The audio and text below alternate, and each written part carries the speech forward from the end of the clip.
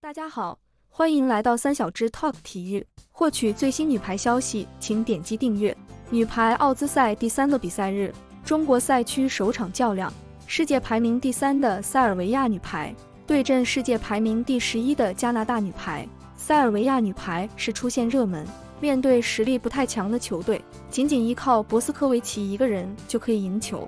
这场比赛，瓜姐奥杰年诺维奇也回到了首发。加拿大这边主要是看格雷和范莱克的发挥，他们也是球队在海外联赛效力的关键球员。上赛季，范莱克在土耳其航空，而格雷在科内利亚诺。最终，加拿大没有对塞尔维亚造成多大的威胁，他们被对方三比零横扫，也送了塞尔维亚三连胜。塞尔维亚也是奥兹赛首支三连胜的球队。加拿大两局都没有上二十分，两队的实力还是有一定的差距。毫无意外，博斯科维奇依然是全场得分最高的球员，他三十六扣二十中一篮四发，拿到了二十五分，六个失误还是有些多。自从跳飘改回大力跳发以后，博斯科维奇的发球又成了强项，极具威胁，直接发懵了对手。瓜姐作为二传，得分欲望非常的强烈。六扣三中一篮二发，六分对于二传来说已经是非常高的数据。他有时候的二次球的确比较突然，然而这场比赛他们的两个主攻却成了软肋。乌泽拉奇二十三扣七中一篮一发，拿到了九分；布沙五扣一中一篮一发，拿到了四分。这样的数据只能辛苦博斯科维奇去得分，所以塞尔维亚的比赛往往在赛程后半段就会表现乏力。博斯科维奇一个人的状态影响全队的战绩。加拿大这边，格雷和范莱克都只拿到了九分，完全被限制，而且两个人合起来还有十个失误。在两队的整体数据上，塞尔维亚进攻赢了十三分，拦网赢了二分，发球赢了七分，但是自失比对方多了四个。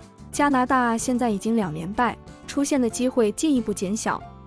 而今晚中国女排将对阵捷克女排，后者是欧锦赛八强，也在之前的比赛中爆冷击败了多米尼加，实力不俗。而且从今天开始，中国女排的比赛场场都是硬仗，我们分别迎来捷克、加拿大、多米尼加、荷兰等主要对手。中国队这个组实力还是比较强的，重点还是中国、塞尔维亚、荷兰、多米尼加、加拿大之间比赛的结果。即使是捷克也是不容小觑，相信我们赛前肯定把塞尔维亚、荷兰、多米、加拿大都研究了很多遍了吧？一般来说，中国队只要平稳发挥，大概率还是可以第一时间拿到入场券。但是毕竟是奥兹赛，各个队都打了鸡血一般。之前荷兰、加拿大、多米尼加已经形成了连环套，中国女排应该重视。从阵容来看，中国补充了丁霞和吴梦洁。丁霞经验丰富，外加又官宣了去波超打联赛，看来她恢复的还不错。为了巴黎真的是很拼，毕竟她如果恢复了，当刁林宇发疯的时候，她还是能把场子镇住。而吴梦洁顶替了杜青青，作用肯定比杜青青大。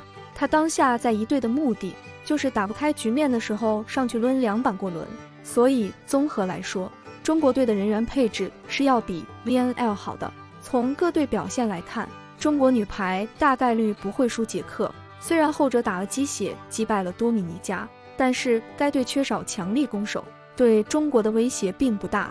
不过加拿大、荷兰都有机会打败中国队，因为加拿大和荷兰的阵容比 VNL 都强些。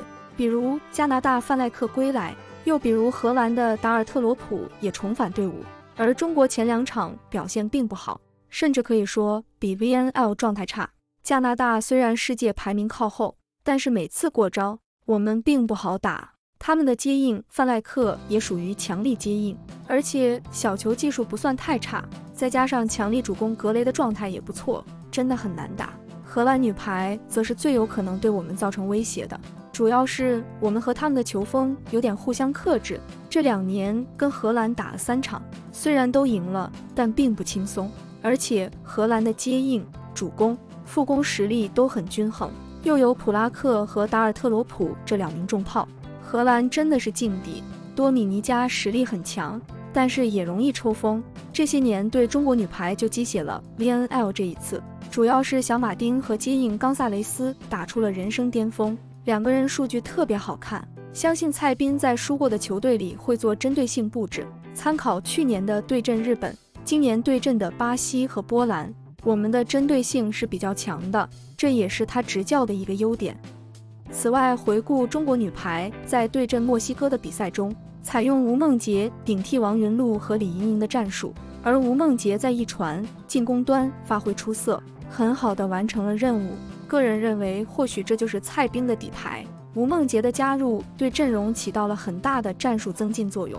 VNL 上，龚翔宇状态整体不佳，主要得分点都在李盈莹和两个副攻上，而王云璐由于上部的原因，经常会出现前排卡轮事故，并且王云璐没有后三进攻，所以经常在无可奈何的情况下，让李盈莹强制连续使用后三。吴梦洁由于扣球点高，她的加入彻底完善了立体进攻战术，而且吴梦洁进攻火力的增强。在抢快的同时，又多了一个拦网的牵制点，两个主攻都能打后三，少了一个大洛伦，创造了更多的机会，也能帮保障型接应的小雨吸引更多的火力。同时，吴梦洁是副攻出身，端拦网很是出色，这点也有补强。不过，王云璐也有优点，虽然很希望吴梦洁能主打李盈莹的对角，但是王云璐的发球真是厉害，基本每次他发球都能涨分。更何况王云璐的一传水平比吴梦洁高，所以两个很难取舍。